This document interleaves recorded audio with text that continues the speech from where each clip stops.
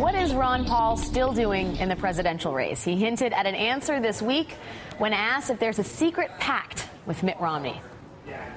It's very secret because uh, he and I don't know a whole lot about it. but, you know, there has been talk a little bit, uh, and uh, the big deal and I have to consider is whether I, whether I want to be a czar or head of the Federal Reserve. And I'm Oh, toying see. with the idea Oh, I one I'm going to take. And then you can eliminate your own job.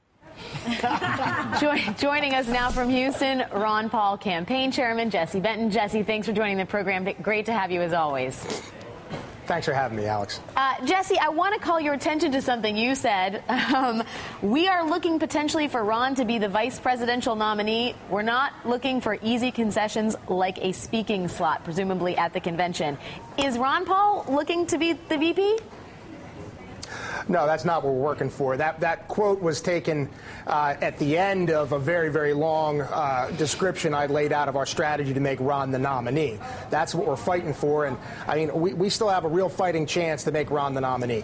Uh, you look at you look at the late primaries here. We've got Texas going on May 29th, California going on June 5th. That's 327 delegates up for stake here, and uh, that's about 29 percent of the total delegates just in that one week window alone. So this race is far from over. Governor Romney is not sewed it up. Governor Romney is showing a, a real lack of ability to sell himself to the conservative activists of this party. Rick Santorum has been unable to sell himself to the establishment. The establishment Republicans are running scared. They think if he's the nominee, then you know we're going to lose But- 36, 37 states. So you know, we think Ron could be uh, the the acceptable compromise with his independent appeal and his appeal to conservatives at a brokered convention. Je- Jesse, I am sorry. I'm going to have to cut you off there. Sanford Police uh, Department is having a press conference right now in Florida where city officials are uh, they are discussing the Trayvon Martin case and the latest there. This is the city manager of Sanford, Norton Bonaparte Jr. City Hall has adjusted its hours. Yesterday, we closed at 4. On Monday, we were closing at 3. Again, we can make parking space available for those that are coming. Yesterday, we had the event at Fort Mellon Park. It went out wonderfully. We'd like to thank the organizers of that for such a peaceful rally and uh, appreciate the people that did come and conducted themselves in a manner that we all felt very good about the fact that they were able to come. And we welcome them and we certainly hope to uh, welcome the people that are coming back on Monday. Those are the comments we want to have today. At this point, we will open it up to some limited questions. Unfortunately, there's a lot of other things that are still going on today. We are having technical difficulties. We will bring you more of that press conference in Sanford. But we, right now, we are going back to chair of the Ron Paul campaign, Jesse Benton. Jesse, thanks for hanging with us. Sorry for all the back and forth. Of course. I was just getting to my No favorite problem. question on my list, which is the the bromance um, and and the bromance between the presumed and purported bromance between Mitt Romney and and your candidate. Although, and bromance is probably taking it a little bit lightly because there have been allegations regarding uh, uh, fooling with the, the, the delegate allocation. And I want to I want to bring up something your candidate said a, a, a few days ago. Let's listen to that first. Sometimes we get thousands of people like this, and we'll take them to the polling booth, and we won't win the win the caucus. So, uh, you know, a lot of our supporters are very suspicious uh, about it. You, you would get the perception that we would be getting a lot more votes. You get the perceptions we, we, you get the perception we would be getting a lot more votes, and our supporters are very suspicious about why we're not. The Daily Beast reporting in other counties, joint slates of Romney and Paul delegates were elected after the campaigns joined forces to forge a majority and control the process. In Franklin County, west of St. Louis, County Party Secretary Pam Heitzman fumed about what she called a prearranged tag team, which left Santorum's campaign with no delegates. Is this or is this not tampering with the electoral process? No, not at all. That's what convention politics are all about. You know, we work we work with different candidates, delegates on a state by state basis. Missouri, it made sense for us to team up with Romney people because a lot of the party county establishment were trying to push Santorum de- delegates through and shut us out. We teamed up with with uh, Romney's folks and shut Santorum's people out.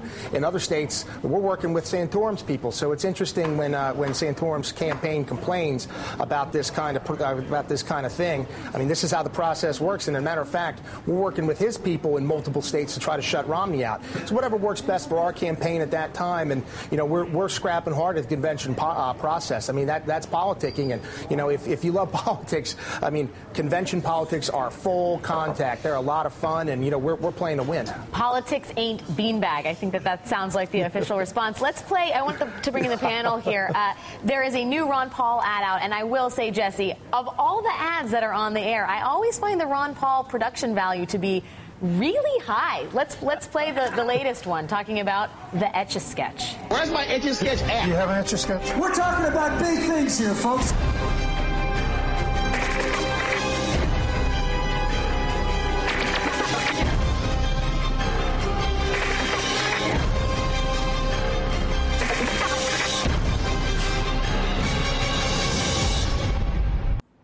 They could also be movie trailers about like. Uh, but but let's let's bring the panel here for a second, Jesse, and we'll go back to you after that. Uh, th- that of course was an ad for Ron Paul, but helps Mitt Romney, does it not?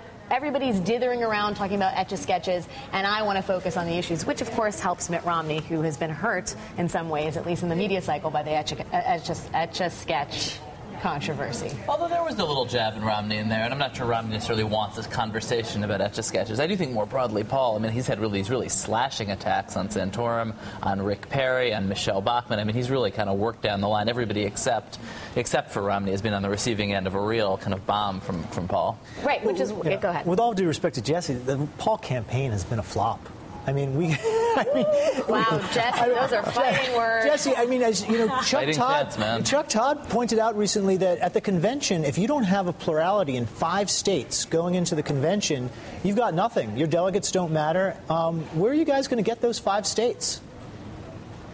Well, we got, we got them pretty well locked up. Uh, we, we've got multiple states where we're going to declare pluralities, and uh, we're, we're going to be players at this convention. Which one? It's, Name- name one. I'm going to have to. North Dakota, Iowa, Washington State, Nevada, uh, to just to name a few. Alaska.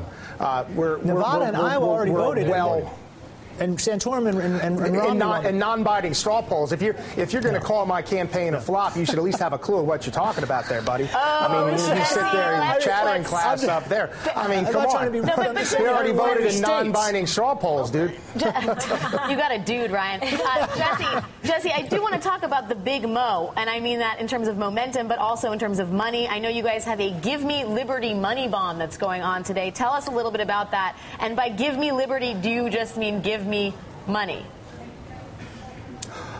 Well, yeah, mo- money sure helps. Uh, you know, we continue to raise.